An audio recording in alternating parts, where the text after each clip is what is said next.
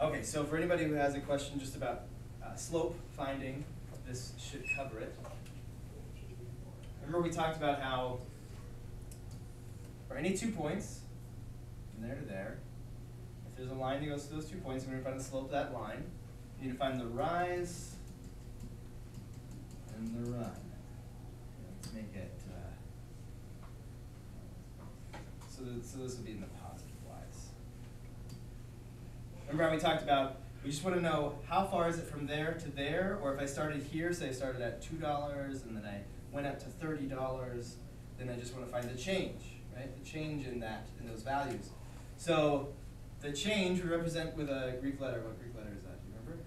Delta, right? Change in whatever y is, right? If y is in dollars, we find the change in the dollars, that's what's represented vertically in that case. So once you find the change in y, that would be y two minus y one. That would be, if we're calling it uh, delta y, delta x, rise, run, that's gonna be that part, y two minus y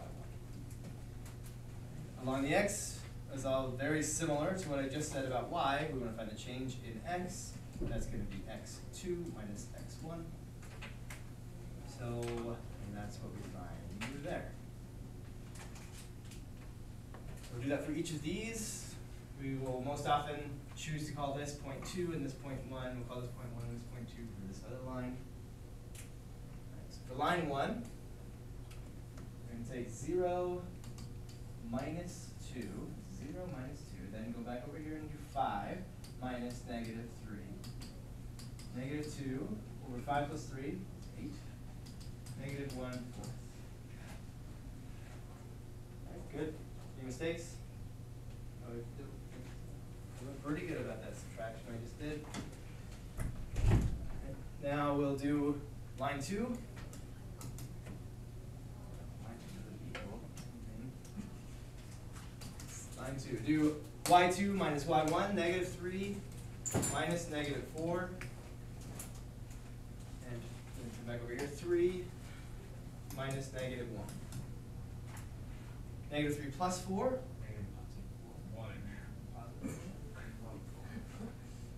and 3 minus negative 1. 4. So positive 1 over positive 4. I just want to quickly point out, if I were to do, instead of negative 3 minus negative 4, I did negative 4 minus negative 3, right, in this order, negative 4 minus negative 3. As long as I come back here for the first one, negative 1 minus 3, right? Might have kind of an in-between step here. That's what I'll get in this case. Negative 4 plus 3 is negative 1. But negative 1 minus 3 is also negative 4. And negative divided by negative is positive, so we've got a positive 1 fourth. Okay. So positive 1 fourth, negative 1 fourth, so they parallel or perpendicular in either. They're, they kind of look like the same slope, so it's, it's kind of like they're parallel. It also is kind of like what you need when you want to see perpendicular lines, right? But neither one of them. Either for parallel, we need what kind of slopes? Equal. Equal slopes, right? One fourth and one fourth, and negative one fourth and negative one fourth. For perpendicular lines, we need what kind of slopes? We need opposite reciprocal. Opposite reciprocals, which we just don't have either one of those. If it's if, if one is one fourth, the other one has to be negative four over one. And it's not. It's not that. Are there questions about that? Somebody asked a question for a reason. If I mean if if this has answered your question, great. But if not, then uh, speak up. Alright. Okay. Then next. That's from, uh, so sixteen, let's take a look at sixteen. Sixteen route. About finding an error in finding the slope. Okay, let's, let's just point at it, right, just talk about what the error is. So, they take five, wait, right away. The only five that exists is this guy right here, right? What would be wrong about that in finding the slope? That's an x coordinate. We need in the numerator, we need y coordinates. We just went over that. So it looks like maybe they just reversed the y's and the x's. Well, yeah, that's what I thought. I said Y two is not like uh one. Um, Yeah. so I don't, but that was like wrong, I guess. Y two's not one. If we want to get a little deeper and get exactly to what they did, it looks like they did x two. Let's see, minus negative one is that yeah? See, that's the other x. x two minus x one, or y two minus y one. And they got them like in the right order, but they the numerator It's opposite, it yeah. are reversed. If if slope is rise over run, what do they have? Run over Run rise. over rise, and that's not how slopes work. Is that good? Is good? Okay. Uh, then next, then, so two twenty-five. Okay, good. Rate of change, pretty important concept.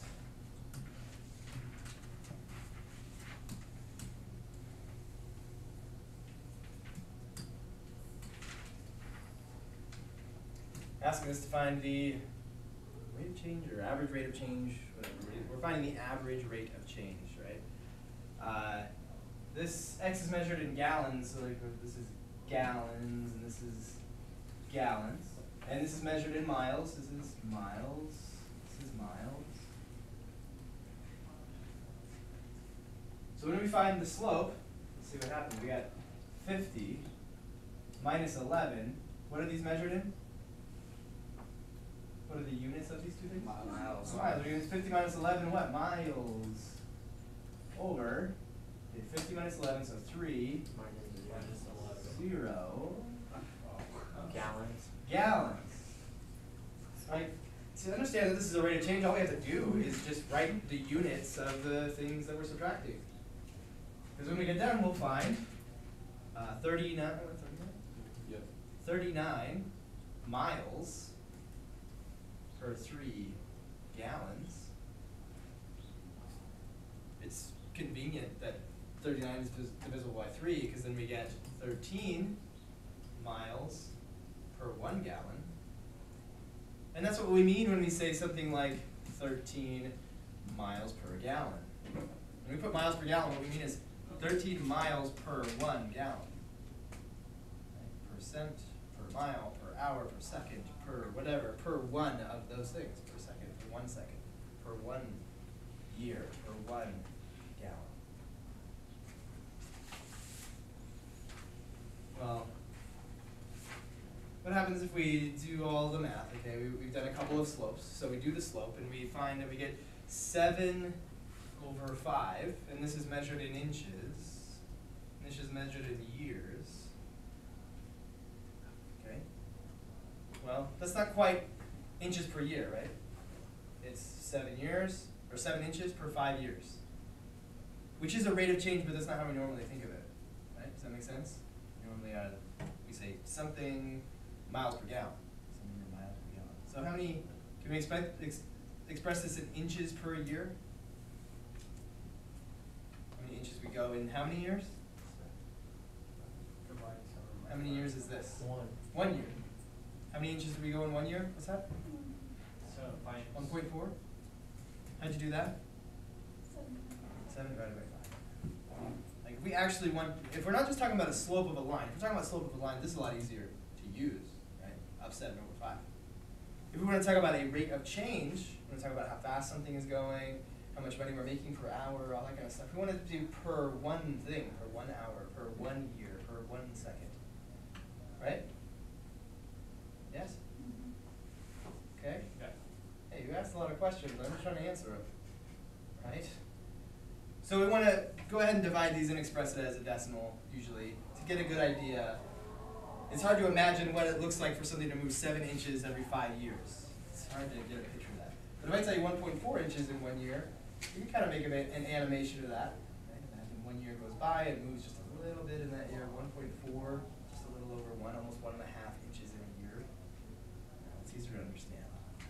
we are talking about slope, we just leave it as seven over five. Um, what moves that slowly? Glacier.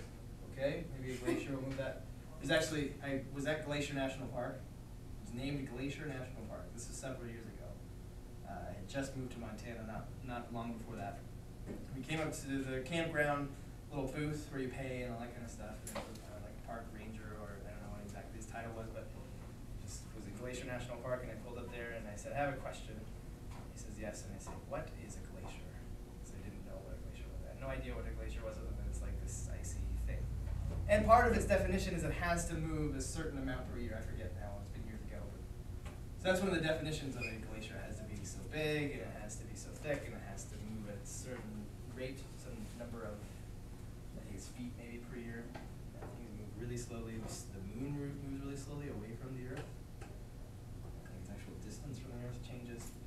slowly.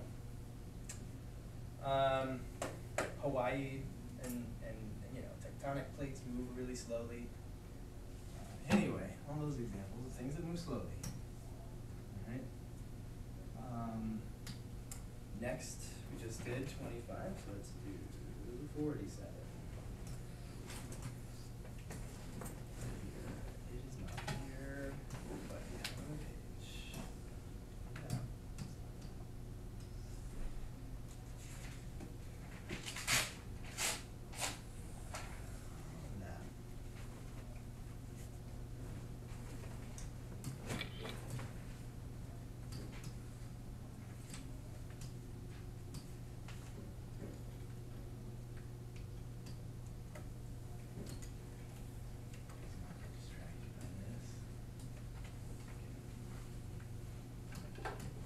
My main question was part B. Just part B, okay. Um, so, part B, does the roof satisfy the building code? I don't know what the building code is, so we're gonna go up here, right?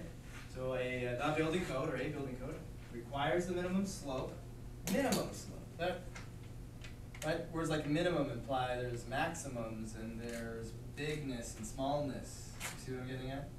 Some slopes are bigger than other slopes, correct? A minimum slope. So the slope that, that meets the code is minimum or at least some slope, right? It meets this slope at least. Okay, so if we are to meet code, our slope of our roof has to be at least whatever we find out next. Uh, or pitch, okay, it's called pitch, of an asphalt shingle roof must rise three feet for each twelve feet of run. So it's gonna have a slope 3 over 12, 1 over 4. Construction code's over here like that. Why don't they just say rise every 1 foot for every 4 feet? Why would they say 3 for 12? So, uh, it's like that a lot in construction. Uh, the asphalt shingle roof of an apartment building has the dimensions shown here. What is the slope? Okay, so apparently we found that, right? 15 over 80. No, 40. 40, not 80. Uh, so this is uh, three over, uh, what are we dividing, dividing by five, so eight, three over eight. When I did that, I thought like, like I didn't realize that eight was steeper than twelve at first. Like, Ah. so I thought it was like smaller. Oh. Then I thought about it.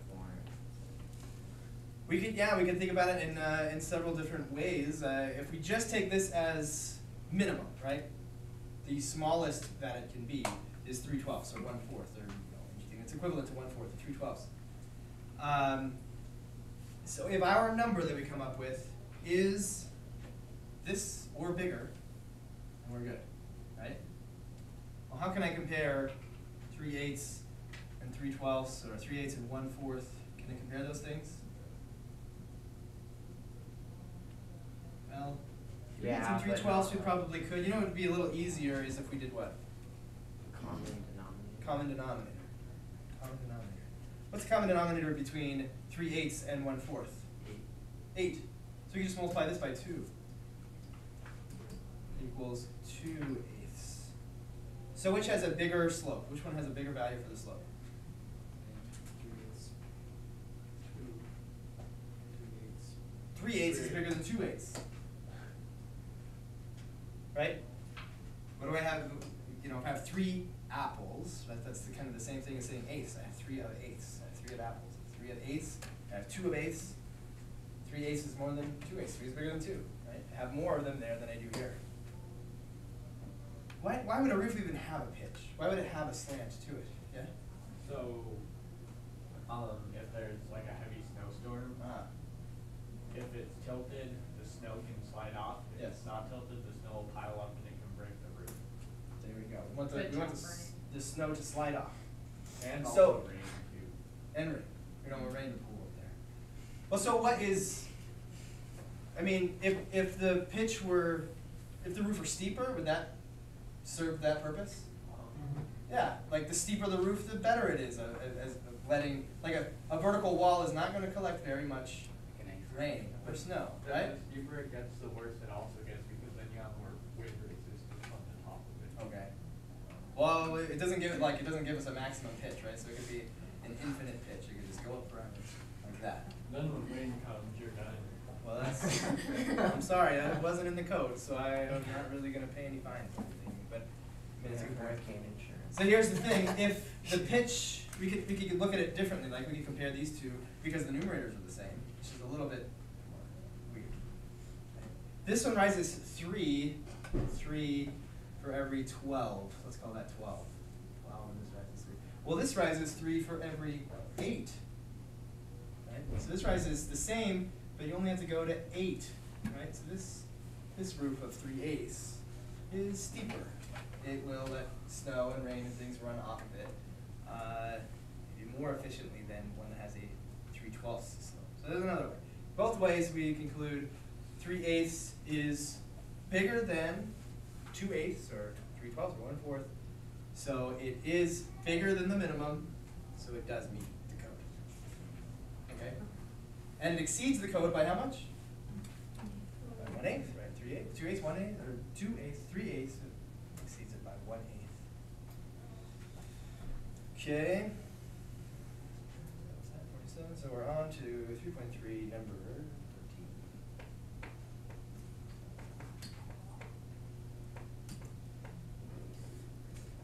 Or two point three, not three. What are we doing here? Graph and equation.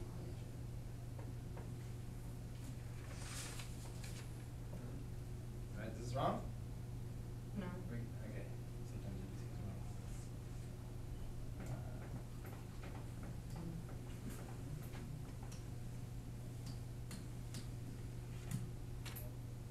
Alright, so we're supposed to graph this equation, y equals four x minus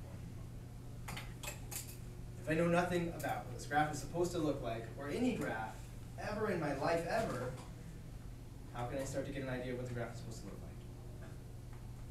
like? It'll start on negative one. No, no, no, no. That's starting with an idea. If I have no idea, yes? Well, you know it's gonna be a positive. No, I don't have any idea what this is supposed to look like. plug in zero to? And in fact, anything, right? Anything. Zero is the best. Zero is definitely the best, I think. There's no arguing about that. Okay? Zero for x gives us nothing there, right? And so we're just left with negative one. Negative one. Okay? If I'm thinking really hard and I'm extrapolating this to all functions that look just like this, anything that looks like this, why don't I always just plug zero in there really fast? And always get b as a y value, right? When we plot the y-intercept, we're just doing this, we're plugging in zero for x and getting out the Y really, really fast. That's what we're doing. It's not magic. It's just plugging in 0 for x. Okay, what would be the next thing that would be very easy to plug in for x? 1. 1. Sure, 4 times 1, is that easy to do? Certainly, it's probably the easiest thing to multiply 4 by except for 0. So we'll plug in 1. 4 times 1 is 4 minus 1. 3.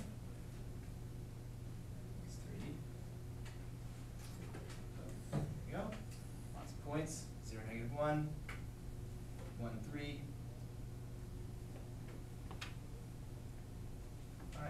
How many more plot, points can we plot? Billions. Billions, thank you, billions. So if we were to plot billions of points, we get all these points, and then this thing would start to look like. a line. Okay, so we know that, let's say we know that. Any points that we plot are just gonna wind up going in a straight line, the same straight line that goes in between these two points, if you keep going past these two points, no matter what value we plug in for x, and when we find y, it's gonna land right on this line. So right now we have, we have plotted billions of points by drawing that line. There it is. If we keep doing this over and over and over, we realize, mm-hmm. well, I can plug in zero for x really easily and find negative one for the y. I can easily get zero comma this number. So I'll just do that right away, I don't even have to plug it in and really think about it that hard, zero, negative one is a point on y. Next thing I'll do is plug in the easiest thing I can for x, well, this is just the number four, right, it's not even a fraction, so I'll just multiply four times one, because that's the easiest multiplication to do. So I'll move over one, over to x equals one, and I know that that's going to give me, oh, four more, four more than the negative one I started with, so. So over one and up four is the origins of our slope, right? Every time I move over one, I'm just gonna move up four more. Okay, move over another one, put in two, move over another one, I'm gonna move up four more from there. Move up, and move over another one, move up four more from the previous one. And there's, there's the origins of our y-intercept and slope idea. It's just fast. Like if we had a job that paid per graph that we graphed, we wanna do as fast as possible, and then if we're really uh, ingenious, we're gonna say, I'll put this guy on the y-axis, easy, I know that's always gonna work because I can plug in zero for x. Then, I was just plug an easy number for x, like whatever the denominator is of the fraction, this fraction has a denominator of one, so a multiple of one will do. And I'll just keep going over that much on x and going up by whatever the numerator is of that fraction. Over and up and over and up. Or up and over and over. Right? So can't you just always look at it and say it goes negative one on the y-axis Mhm. and right over run, and you don't Right. need to plug anything in? Yeah. Right, but we only want to arrive at because we understand why that is a shortcut. Right? A shortcut to what a graph is. A graph is, a bunch of points each representing an input and output. If I can understand easily, quickly, that the two points that are easiest to find are when I plug in x is, uh, well, when I plug in x is zero, and when I plug in x is the multiple of the denominator, then I can start to just, that's what I'm talking about. We get paid per graph, we wanna do them as fast as possible, we start to under, we start to recognize that pattern in all functions that look like this. Yeah. That look like y, that makes most b. But, if I get a question, like, do I have any homework questions? Yeah, number thirteen, and it's that, I'm gonna go through this again, and again, and again, and again, and again, and again, and again, until I don't get any more questions about it. Right? I don't mind getting questions about it, but that's gonna be my explanation, because it's absolutely true. If I just say, you know, put the y-intercept and the slope, that's not an answer, that's just the shortcut without any explanation. Okay? And, uh, and you know, if that's your question, you're like, well, I think I was supposed to do that. Well, that came out exactly like I did doing the y-intercept and the slope, so I must have done it right. So, here we go. Some more. That was, what was that, 13? 13. And we have 16.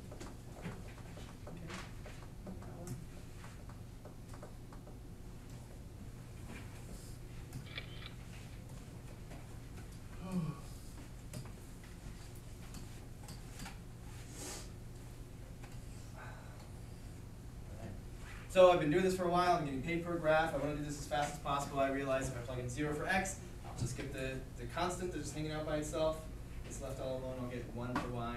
So zero for x gives me one for y. There's your y.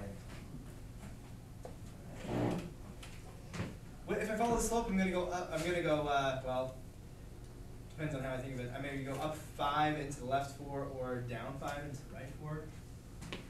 I'm gonna go right. I like I like positive exits. so I'm gonna go that way. I don't want to plug one in here because that's going to give me a fraction. I have to find a common denominator to add them together, and then I have a fraction that I'm supposed to graph. I want whole numbers. I can get there. If I plug in 4, exactly, if I plug in 4 for x, I do just that, negative 5 fourths, right?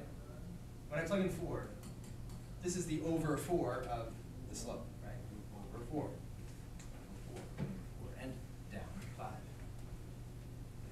Uh, plus one, so it cancels, that leaves me with negative five, plus one so I'm going to take one minus five, I'm gonna start at one and go down five. One, two, three, four, five, that puts me at negative four, of course. How did I do that? I put in x is four. There's my down five and over four.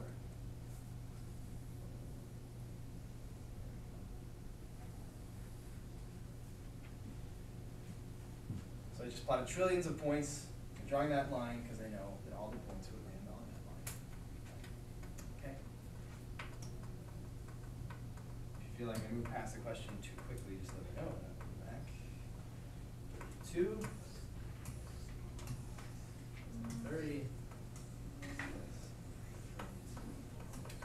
Okay, maybe what's up here? Is this right? Is that what we're looking for? Just assume that means yes. Whoever had the question about thirty-two and two point three should know.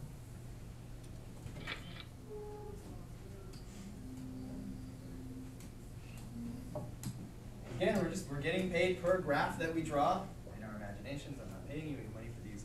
But if you were to get paid per graph, you'd wanna do it as fast as possible, it's just a game of finding two really easy points to find. In this case, what would I plug in for whatever that would make it really easy to find a point really quickly? One for X, zero for X. Zero for it, one is, is quick, but zero is even faster, because I plug zero in there for, for that, and that just goes away, so I get negative six, y equals negative twelve, and y equals two. So I've just found the point zero for x, two for y. Right, that was. Halfway there. Zero for x, two for y. What would be easy to do almost exactly the same as that? Plug in zero for y. If you wanna put it in y-intercept or slope-intercept form, and then do it that way, that's gonna give you the same graph, of course. But this way is, I think, a little bit easier. We put in zero for y, we get two x equals negative twelve. X is negative six. Negative six comma zero. And there we go.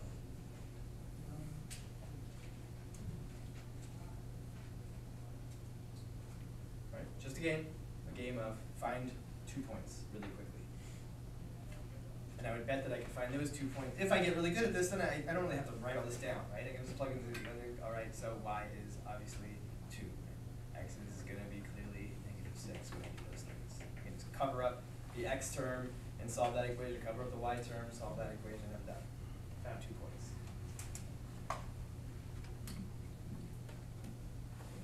If I, if I need to spend more time on that, just let me know. Here's a good one. Forty-one.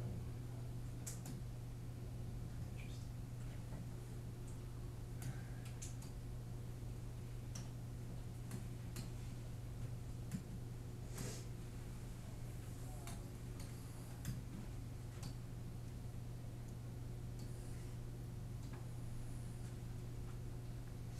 Okay, the graph needs to be, needs to show me all the places on the plane where this is true. This is true. Let's start with the easiest place for that to be true. Where is x equal to negative five halves? Negative five, five, zero, Y. Zero y, so we move this way, uh, one, two, three, four, five halves. That's where x is equal to negative five halves. Where else is x equal to negative five halves? everywhere up and down. Where's x equal to negative, half, negative 5 halves? Here, and here, and here, and here, and all along here. That's where x is equal to negative 5 halves. There, and there, not there. Those are accidental.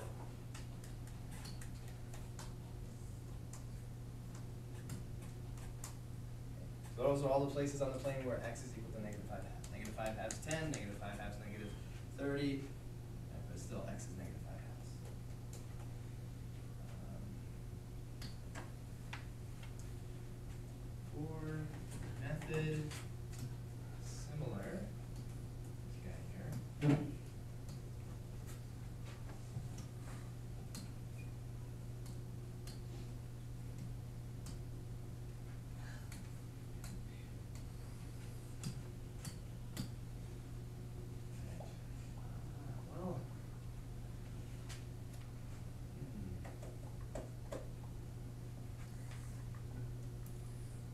I think the method I would use is get x equal to something, like isolate x, right? So I add 3 to both sides. x equals positive 3. Now it's a lot like x equals negative 5 halves, where is x equal to 3? Here, okay? and here, and here, here, anywhere that is 3 to the right is where x is equal to 3, all along there. And the same would be true for y, like if y was equal to 3, well then all of these are the points where y is equal to 3. So that turns out to be horizontal. And last, 65.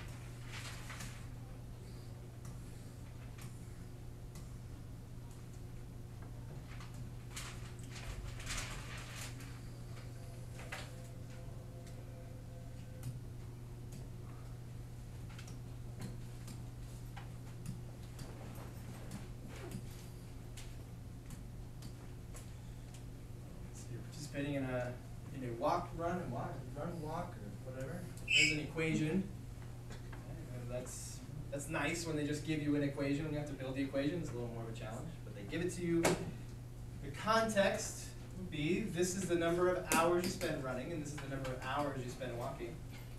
You're gonna run a little bit, you're gonna walk a little bit, and eventually we, when we're done, we'll have gone fourteen miles. So let's, let's graph this equation. It's just a game of finding two points. What's the, what would be the easiest way to find a point in this scenario? Zero for either thing, right? For both things, right? And not at the same time, two different times. One time I'm plugging zero for x, one time I'm plugging zero for y. Well, what's x and what's y in this case? Yeah, R and W. Which is x and which is y?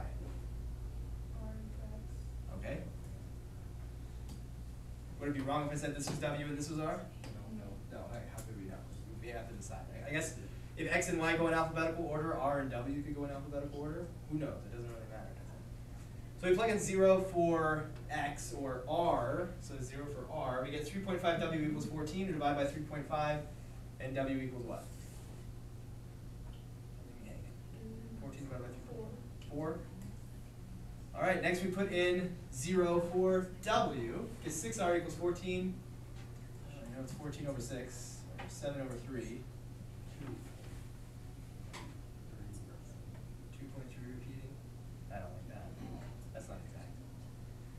Gonna leave it like this, so, uh, seven over three. So. One, two, three, four, five, six, seven thirds, that's right there. That's the R axis. The W axis, we're gonna go up to four. And every other point would land somewhere on this line. Draw a line, and trillions and trillions of points just now.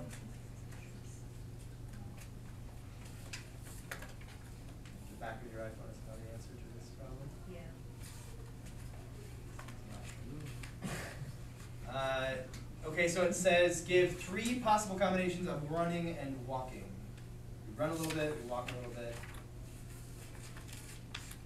What's one possibility for where I ran this much and I walked this much, or vice versa? Run two miles. Okay, run two miles. Two miles? Two minutes. Hours. Hours would be a little easier to plug in here.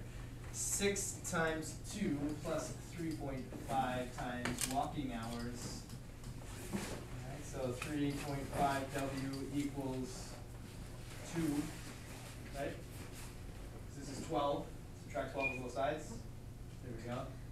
Divide two by three point five? What's two divided by three point five? Point three three repeating. Point three three repeating, so you mean one third. Oh, yeah. So there's one possibility. Uh, W equals one third when R equals two. So I can run for two hours and walk for a third of an hour. How long is a third of an hour? Um, Twenty. Twenty minutes walking and two hours running. What's another possibility? Um, I use number four, plug in. Number four? Number four. Like this Like the number four the number four like this. Yes. And got zero for the other? No, like oh, you plugged in I four plugged for this guy. Four. Oh, okay. So you plugged in four for uh, R and got uh, negative two point nine. Negative two point nine. Mm-hmm. Okay. Negative two point nine. And how about this one? Or this one? Like these are both possibilities too, right? Yeah. We walked how or what does this zero mean? Ran Zero. zero hours, and we walked for four hours, or we could walk for zero hours and run for seven thirds of an hour. Two and a third hours. Now, hold on, Yeah, that Hold one wouldn't on work. That one wouldn't work. hold on. That's the same as this. Like the total time is, is two and a third. Yeah, but how Somewhere we did something seven wrong. thirds of an hour? Seven thirds of an hour, that's two and one third hour. Let's do. So it's not one hour, right? No. Right, Okay. it's not one. But this total is two and a third, did we do this right? Fourteen twelve. Two divided by three point five, does that come out to one third? What? Oh, no. It doesn't come out to one third. Yeah. Uh, it's just, I don't know.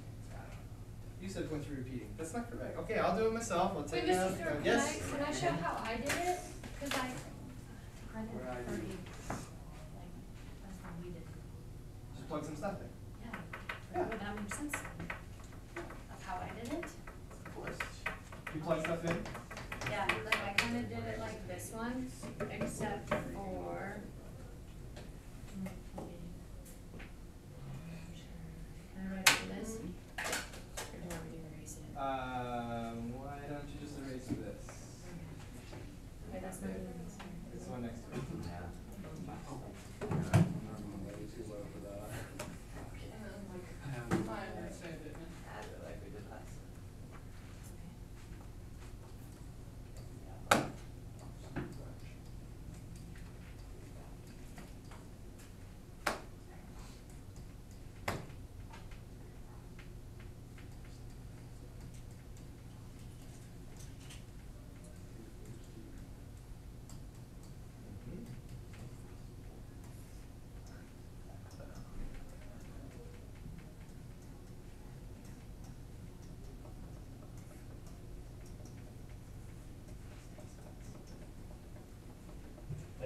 There we go. Should've got point six, Boom. not point three repeating. Huh. So, that's better. Okay. Assuming we're all done with questions from the homework, and we're gonna pass in our homework and get ready for the review, which looks like this. The quiz? This looks like a person who's ready. Yeah, man. Okay, uh, if we wanna tell if two lines are parallel or perpendicular or whatever, it's not enough to just look at the graphs and guess. 'Cause even if we had the most perfect graphs ever, two lines could look parallel and not actually be parallel, and vice versa with perpendicular. It could look par- perpendicular and not be perpendicular. The only way to know for sure is to look, are they, well, exactly the same slantiness? Well, then they'd be parallel, right? Means they have the same slope. Are they like opposite in every way? Well, then they'd be perpendicular. Opposite in every way would be if one's positive, one's negative. If one is three fourths, the other is four thirds. So let's take a look at both of these and see what we find out. So we're gonna take y two minus y one, x two minus x one, seven over five. Alright, that's line one, line two. Five minus zero over three minus negative four, and five over seven. Are they the same? They're not equal, so they're not, Parallel. they're not parallel. Are they opposite reciprocals? No. No, they are reciprocals, But but not not opposite. opposite. If they were opposite reciprocals, it'd be seven fifths, this would be negative five sevenths, so vice versa. And those would be perpendicular. What are these two lines? They're nothing. They're, they intersect somewhere in a very uninteresting way, apparently, because we don't have a name for it. If it were interesting the way they intersected, we have some kind of a name for it. So this is when we do the something out of five? Yeah. Mm-hmm. Got it. So we did all this and then we said, oh, perpendicular, then no, that's like four out of five, that's oops. That's not quite right. We did all the math right, but we just kind of made the wrong conclusion. And that, you know, I would probably mark that three out of five. That, that's a concept.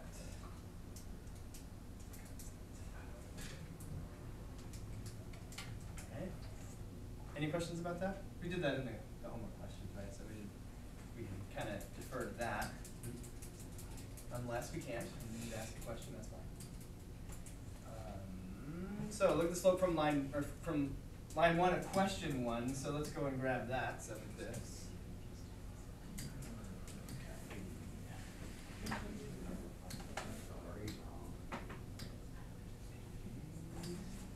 Seven. Alright. So if x were measured in years and y were measured in inches, what would be the rate of change of y relative to x? So what did it, where did we get this seven? How did we calculate seven? And those were what kind of values? Y values. Yes, they were y values. So these are y values, y is measured in? What's y measured in? Inches. So this is seven inches. And what was x re- measured in? Years. Oh, I guess seven fifths was in my, this came, exactly this number came up in, uh, my example before. Seven inches in five years. Seven fifths, seven fifths inches per one year. One point four inches per year, however we wanna write it, that's all fine. Seven inches per five years, seven fifths of an inch per year, or one point four inches per year, all these are great. These are all rates of change. This is probably the most common, easiest to understand. That would be good. Graph.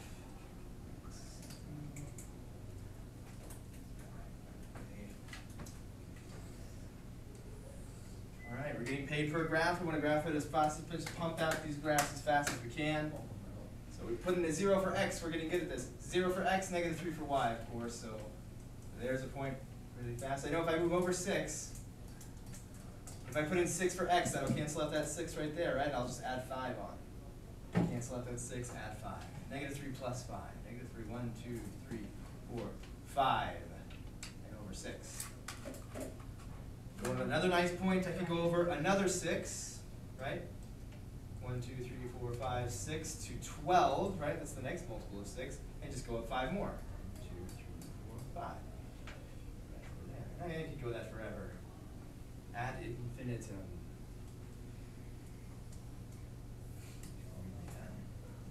Don't have to have three points, of course, just two points is fine.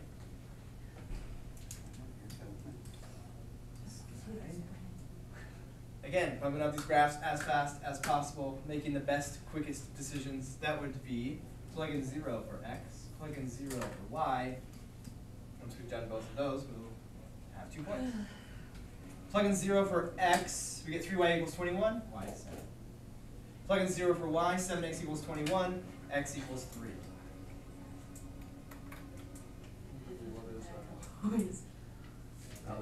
The only reason x equals three and y equals seven is because I wrote it that way. It's a coincidence, it's not a rule to live by, okay?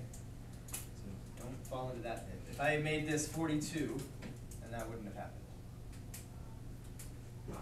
There are little rules we could make, but they would wind up being more complicated than just plug something in for x and something in for y and you're done. Zero comma seven,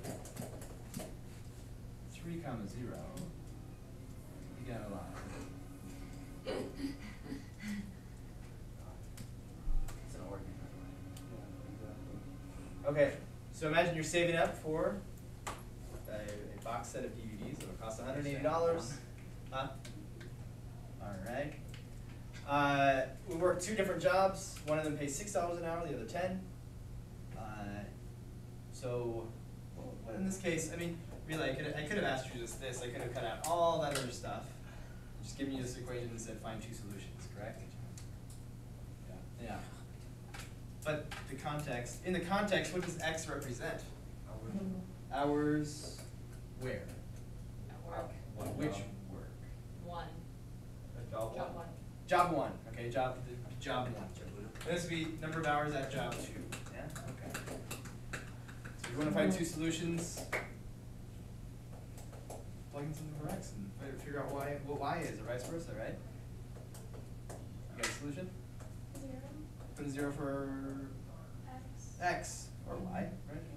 But you said X, let's do X. Ten Y equals one eighty. Y equals eighteen. So here's the solution. Zero hours at the six dollar an hour job and all eighteen hours spent at the, well, that's the smartest way to do it, isn't it? If you can choose. Mhm. Why work all the hours at the best paying job? Another possibility, we said we can plug in zero for y, so we get six x equals one eighty, x equals thirty, so thirty hours at the not as good paying job. So this would be the best way to do it, that'd be the worst way to do it, right? I guess if best is less time and worst is more time. Or somewhere in between, right? Can work three hours at one place and see how many hours you have to work at the other. Six times three hours at this job plus ten times y hours, and then we just solve for y. We got ten y equals eighteen, or hundred and eighty minus eighteen. So one sixty-eight, equals sixteen point eight hours. Whatever you want. Two is all we need, two solutions.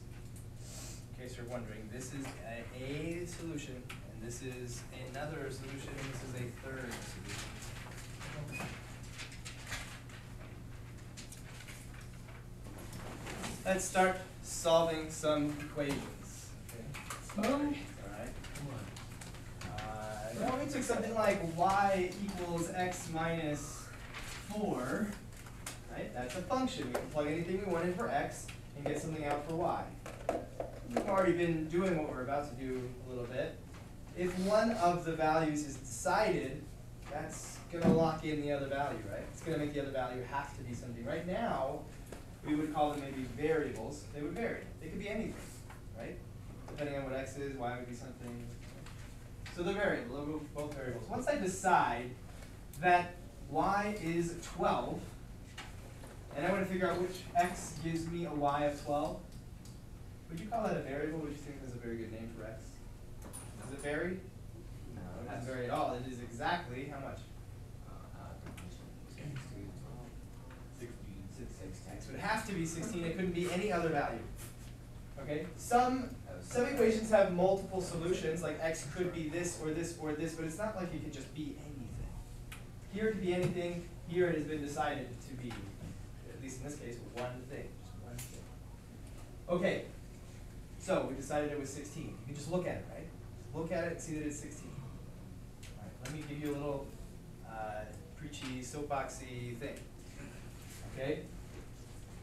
You can, in this equation, and you know what, maybe through all of algebra, maybe you had been able to get by just, quote, seeing it. Okay? You ever, there's a common thing for people uh, of this ilk. They go home and their parents are trying to help them out, and then they, they, they say, well, here's the answer, and the parents say, well, how did you do that? I don't know. They just see it just see it. Or a common argument that's had between parents and teachers and this kind of a, a student, please show your work? I don't need to show work, I can just see it. Okay? If you've ever not shown your work, because it's just so easy to see, cut that out. Alright? Because there comes a time, and it's not very far away, where you can't just see it. Okay? We give you an extreme, it's not even the most extreme example. Okay, I'll give you an extreme example from later in the year, alright? And it's not on this paper. It's on another piece of paper. It's all the way over here. If you just see this is sixteen, put this up here.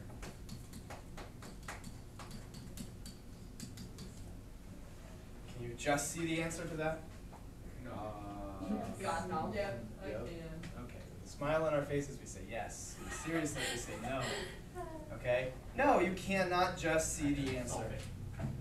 Right? You can't just see this one, sure. It, really, what you're doing is you're kind of like, what would I have to subtract four from to get 12? Well, I'll have to go to a number that's four bigger than 12. You're really doing what I'm asking you to do in your head. You're not showing it. Showing it is not just a way to dock you because you didn't show it. A way to document what we've done so that we can repeat it for more and more and more complicated situations. Here's a very complicated situation. And of course, there's even more complicated situations, but here's one from this particular course later this year. All right? And you can't see it. The best you can do here would be to guess. What could we guess? One. One, okay, we guessed one. We have to put one there and put one there, and understanding that is, is not insignificant. That one needs to go in both places, and then we need to do that out, and then it needs to come to zero. Like, that's, a- that's a significant thing to understand. It's just not a good place to end your understanding, alright? So we put one there, we get one plus two minus five is not zero, right? So that didn't work. Try, well, okay, we can add five to both sides and say, well, that stuff has to equal five, alright? What's that, you got it? Yeah. What is it? Of course it did. I, I think it is zero point seven nine zero five six nine four one five. Exactly? That's exactly the right answer? I think so. Go up there and show it. How did you come up with that? Go up there and write it. By doing math. Brennan, go up there and write it. Gonna be five. Go write it. Hold on, let's just check it. Yeah. Point seven nine. I don't know if I did. Come on now, point seven nine. Zero five. Zero five six four, nine one, four five. one five squared plus two times point seven nine zero five six nine four one five minus five. Oh my god. Zero. Let's get our calculators. Point seven nine Zero. zero five Six nine. six nine Four one five. four one five. I'm just gonna store that as x and save myself some time. Now I'm gonna do x squared. Where's the square? Squared plus two times x minus five. Alright, so every x is saved oh. as, as that. That's sweet. Not even close. Oh, Okay. Not even. Good try though, good try. Alright, I think you were trying to use some algebra, but there's definitely some mistakes there. I did something. Alright, even if we did put in a really close decimal, all we're gonna get is something that's really close to zero, because here are the answers, there's two of them. Here are the exact answers. Negative two plus the square root of twenty-four divided by two. The other one is negative two minus the square root of twenty-four, two. Doesn't sound fun or like. Would you have ever guessed this? With a serious look on a smile on your face. I Oh know, no, no, we have no idea. Okay, Yeah, no, I've never. so that's not to intimidate him. Simplify. Because once we get there, if we have been paying attention and if we have been listening to Mr. Stewart and, and believing what he's telling us, and when we get here, all this is not that big a deal, not that complicated, alright? We have to start today with this, okay? To solve this equation, just sit there and say, oh, I can see it. You need to treat it like an equation, okay? So when I say add four to both sides, let's do that, okay? Show that work. Right? And, and as we progress and we do stuff like that more complicated, all right, those steps are gonna be done in our heads, but we're not thinking, I just see it, I'm doing the steps, I'm adding four to both sides, and I've arrived, right? I add four to this side, what's that doing? Well, negative four plus four is, is zero. X plus nothing, well, that's just equal to x, right? That's what I have on that side. Well, it's not equal to twelve, right? Because if I add four to this side, Yep, add four to the other side. yeah, and here's why. This is an equation right here. This is what an equation represents. Two sides balanced in perfect equilibrium, right? Does that make sense? Yeah, how's that balanced though? What do you mean, how's it balanced? Like one Yeah, has how's it something in it and the other balanced? doesn't. Oh, there's, there's, oh guys, Oh, I can, okay. hard to see from over there. Okay, I'm holding it and I'm wiggling and it, the scale isn't perfect, but this conveys the concept, right? If both sides are perfectly balanced, then mystery container, right? I took it so it's gonna go off balance. I'm holding it back here. Mystery container is worth however many are over here. There's two, so mystery container is worth two. Okay? There's one inside, there's one chip inside, and the container weighs the same as one chip, so X is worth two in this case. Okay? So, if I add four to one side, well, if I add four, let's, just real quick, an example here. One, two, three, four. I'll show you what it looks like to add four to one side. Right, That side is four more, four heavier. To balance that, we need this side to also increase by four. So that then there will be, I won't actually do it, but you know it would be balanced.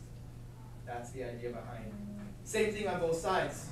I know from experience, when we talk, when we, when I hear students say, do the same thing on both sides, they very often don't understand why that is.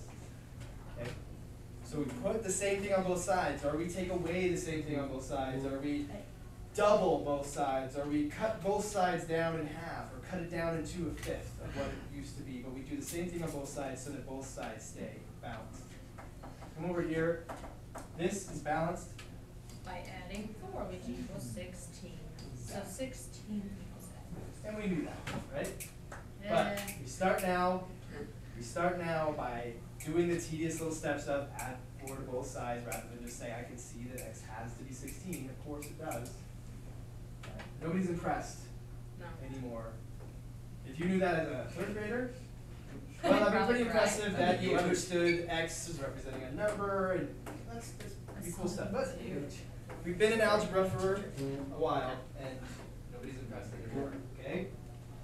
So now we have to have an algebraic approach, breaking it down, alright? So now let's talk about something like this. Well, all right. See I can see that. I see that. You can see that, okay. When we can't see it, we need a better approach. So, what we wanna know is this. What is one of these worth? How many do we know? Twelve, twelve. We know that if I had twelve of these, there would be hundred and forty-four. I don't want twelve of these. I want one twelfth of that, right? I'm gonna somehow reduce twelve of these down to one of these. Well, if I divide that by twelve, right, just look, I just look at one group of one x, then I'll have x. I'll have x. So, if we divide this by twelve, figure out what one twelfth of this side is, You gotta divide by twelve on the other side. must be equal to a twelfth of the other side, Boom. and x is twelve. Okay, but uh, what about if three x equals twenty-three? Oh, wait, At least has- oh, yeah. Not eleven. Duh. So how do we get to what x is? Same- Divide by three on each divide by three side. on both sides. I wanna know what one third of this is, one third of three x would be one x. Divide twenty-three by three, it's what, twenty-seven, or seven point something? yeah. Seven point six repeating. Or twenty-three divided by three, exactly correct. Equals Shut. Or seven and two thirds, whatever. Don't Oh. be tempted to write decimals unless you're saying seven point six repeating miles or like a unit or something. But if it's just a number, give me the exact number. There's no hurt harm in it. I don't need to understand how big that number is because it's not anything. It's just a number. It's the number twenty-three divided by three or seven and two thirds. Exactly, exactly right. Okay. I have a question. Yes. Okay, so, if you have to go seven point six six repeating miles, Hmm. Can you just write seven point six seven? It wouldn't be right. no, if you have to go seven point six, Seven point six with a line over is conceptually correct, but how do I like say tell a calculator exactly seven point six forever? You can't. You can't. No matter how many sixes you write, it won't be correct. It won't be exactly correct. Yes. Okay, so if you were going seven point six repeating miles, and then they would calculate your time at that point, if there's an infinite, if there's infinite sixes after the seven, Yeah. technically if you put your tires down to a molecular scale and followed them, wouldn't your tires technically go an infinite amount of sixes too? Yeah. When you get all done, you'll have gone the distance it's equal. Everybody knows like seven and two thirds. That's what an infinite number of sixes is equal to. So you would have traveled seven point infinite sixes? Yeah. If we get to this fractions part, I'll tell you something that'll really blow your mind. Alright. Three fourths of an x is equal to fifteen.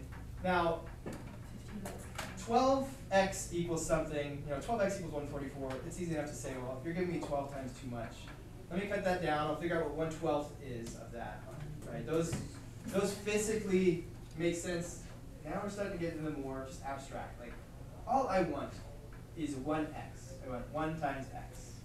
Okay, now it becomes about just manipulating the numbers. How can I manipulate these numbers in some way? How can I manipulate these numbers in some way? To Get one times x. Multiply each side by four thirds. I'm No, looking you do four times three and then fifteen, or no, yeah, Yeah. and then fifteen Multiply each side by four thirds. and then divide by three. Okay, hold on. So let's multiply by four, you say? Multiply by four. Okay, multiply, I don't know why I use parentheses, but I multiply by four, that's four over one, right, makes it easier to, to do, right? Okay, multiply this by four, great, great. Uh, so we get twelve over four, well, twelve over four, that says three. Three. Three x equals sixty, Divide by three. and divide by three, Twenty. x equals twenty. Or, Mitch, Okay, multiply each side by four thirds. Or the reciprocal of the fraction. What we should learn here is that multiply by four thirds is multiplying by four and dividing by three. Mm-hmm. Just at, all at once. Right? Let's see what happens. What do we get? Twelve over twelve, that's just one. One times x.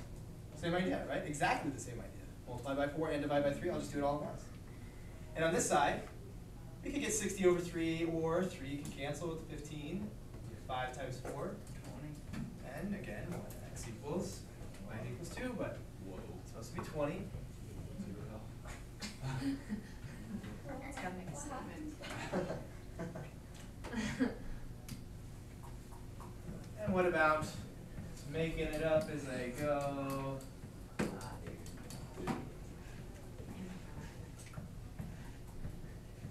make this, uh, I'll make this fourteen, because that actually, I want it to not come out nicely, that would come out nicely.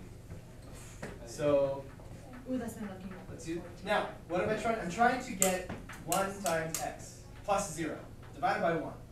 You see what I'm doing? None of this stuff is changing, I wanna get one x plus zero minus zero divided by one, right? I want to do all this, I would like that to be left on one side by itself, because what, what is this equivalent to? Just x, right? I don't know what number it's equal to, but I do know it's equal to x. One times x, x plus zero is x minus zero is x, divided x by one, you still x. We just want to get rid of all this other stuff that's hanging on to x. I cancel it all out. Now. Hey, you worked through this one really fast before the bell rings? Mm -hmm. So what did you do first? add 5. Adding 5 is so easy, right? But the minus 5 is just hanging out there by itself. It's, it's easy pickings. You just pick it off. You add 5 to negative 5, you get 0. There's like plus 0. Oh, we gotta add five to this side too. So we have three sevenths x equals nineteen. And what do we have? We have the exact same thing as before. Fraction times x equals number. Multiply by seven thirds, or multiply by seven, divide by three. So x equals whatever nineteen times seven is, hundred and thirty-three over three. 133 divided by 3 is exactly 133 divided by 3. It's exactly that. Have a good day.